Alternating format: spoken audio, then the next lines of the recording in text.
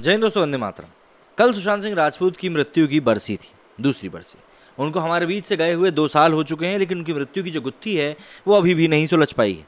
छः सौ सतहत्तर दिन हो चुके हैं, लेकिन गुत्थी जस की तस है देश की सबसे बड़ी तीन जाँच एजेंसियाँ, एनसीबी, ईडी, सीबीआई, तीनों इस मामले में लगी हुई हैं। दूसरे, राज्य की पुलिस भी इसमें इन्वॉल्व हुई, लेकिन उसके बाद भी कोई ठोस नतीजा निकलकर सामने नहीं आया।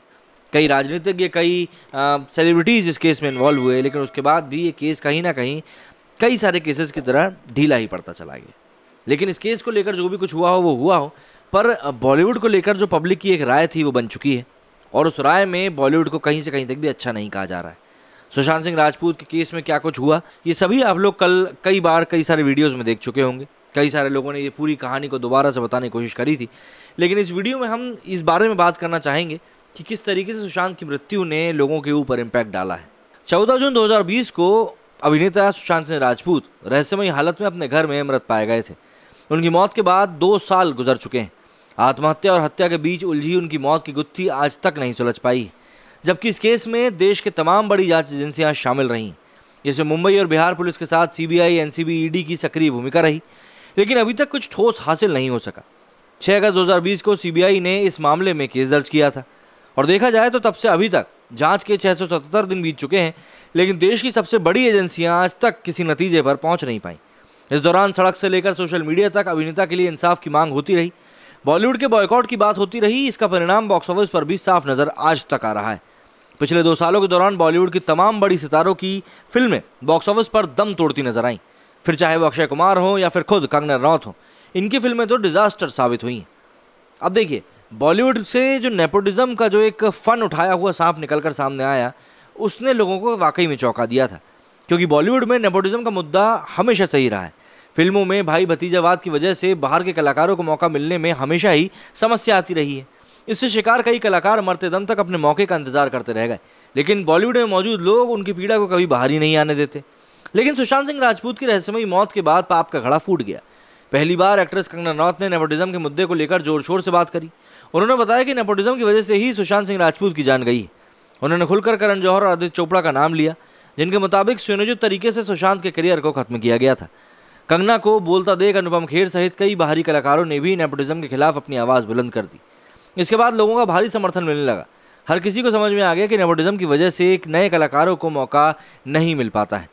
यदि कोई कलाकार अपने टैलेंट की वजह से आगे बढ़ना भी चाहता है तो उसे खत्म कर दिया जाता है। ताकि वो किसी स्टार के बच्चे या भाई के लिए खतरा ना बन सके। कई बार कुछ कलाकारों को अपने मनमाफिक करने के लिए मजबूर किया जाता है, और यदि कोई मना कर दे तो उसके खिलाफ ऐसा माहौल पैदा किया जाता है कि वो फ़िल्म इंडस्ट्री को ही छोड़ देता है। डिप्रेशन में चला जाता है या फिर खुदकुशी के बारे में भी सोचने लगता है।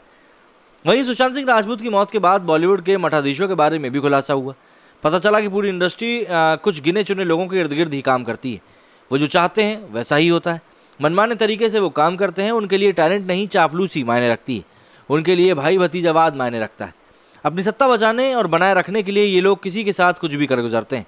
ऐसे मठाधीशों में सबसे पहला नाम आया करण जौहर का, जो कि धर्मा प्रोडक्शन के मालिक हैं।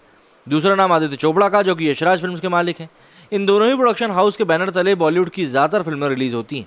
सुशांत सिंह राजपूत केस में कहा गया था कि आदित्य चोपड़ा के साथ उन्होंने अपनी शर्तों पर काम करना चाहा तो एक्टर को प्रोजेक्ट से बाहर कर दिया।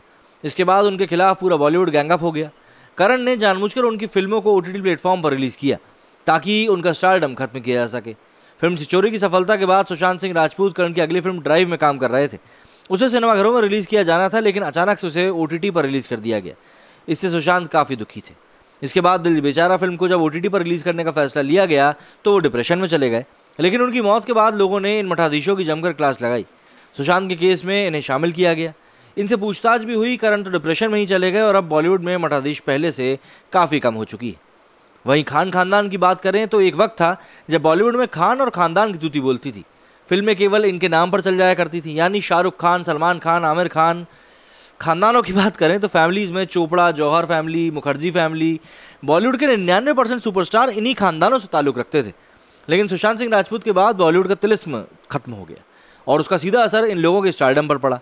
कंडीशन यह है कि सलमान शाहरुख आमिर की फ़िल्में अपनी लागत निकालने के लिए भी तरस जाती हैं। इसमें सलमान की आखिरी फ़िल्म राधे और अंतिम की कमाई का आंकड़ा देख लीजिए तो आपको समझ में आ जाएगा।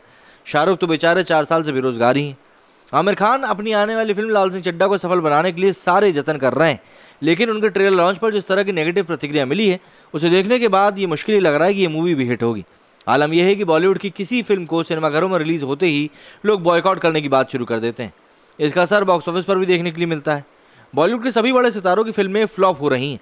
अक्षय कुमार की फ़िल्म सम्राट पृथ्वीराज हो, या फिर कंगना की फ़िल्म धाकड़ हो। इसका ये एक जीता जाता एग्ज़ाम्पल है। और इस लिस्ट में अजय देवगन की film Runway thirty four Tiger की हीरोपंथी टू जॉन अब्राहम की अटैक भी शामिल है। लेकिन यहाँ पर हम भूल भुलैया टू की बात कर सकते हैं, जिसमें कि एक आउटसाइडर है और इस मूवी ने डेढ़ सौ से ज़्यादा करोड़ रुपए कमा लिए वहीं सुशांत सिंह राजपूत के निधन के बाद बॉलीवुड के खिलाफ इस कदर नकारात्मक कैंपेन चला कि लोगों को घृणा होने लगी। बॉलीवुड का बदसूरत चेहरा सबके सामने आ गया। इसकी वजह से दर्शकों को बॉलीवुड का बॉयकॉट तो करना ही पड़ा। वहीं बाहरी कलाकारों में भी इसके प्रति आकर्षण कम हुआ है। पिछले कुछ सालों का ट्रेंड देखें तो ज़्यादातर कलाकार ओ टी प्लेटफॉर्म की तरफ़ मूव कर रहे हैं। इसमें नए कलाकारों के साथ वो कलाकार भी शामिल हैं जो मठाधीशों की उपेक्षा के शिकार थे, जबकि उनके अंदर टैलेंट कूट कूट कर भरा हुआ है।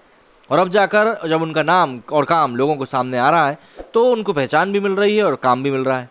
नए कलाकारों को समझ में आ चुका है कि बॉलीवुड किसी फ़िल्म में एक अदद रोल के पाने के लिए भटकने से बेहतर है कि किसी भी वेब सीरीज़ में काम कर लिया जाए। यदि सीरीज़ चल गई तो छोटे रोल में भी उनको पहचान मिल जाएगी, जो बॉलीवुड फ़िल्मों से नहीं मिल सकती। पंकज त्रिपाठी, नवाजुद्दीन सिद्दीकी, कई सारे ऐसे नाम मौजूद हैं आज की डेट में, जिनको कि ओ से पहचान मिली है। वहीं अगर हम बात करें बॉबी देओल की तो उनका तो डूबता हुआ करियर ही आश्रम नाम की वेब सीरीज़ के कारण ज्वलंत हो उठा। तो ऐसा नहीं है कि यहाँ पर मौक़ों की कमी है, लेकिन हाँ सुशांत की मृत्यु ने काफ़ी सारी किताबों को, जो कि बंद पड़ी थी, उनको खोल के रख दिया है। मेरे स्टूडियो फ़िलहाल इतना ही। जय हिंद, जय भारत।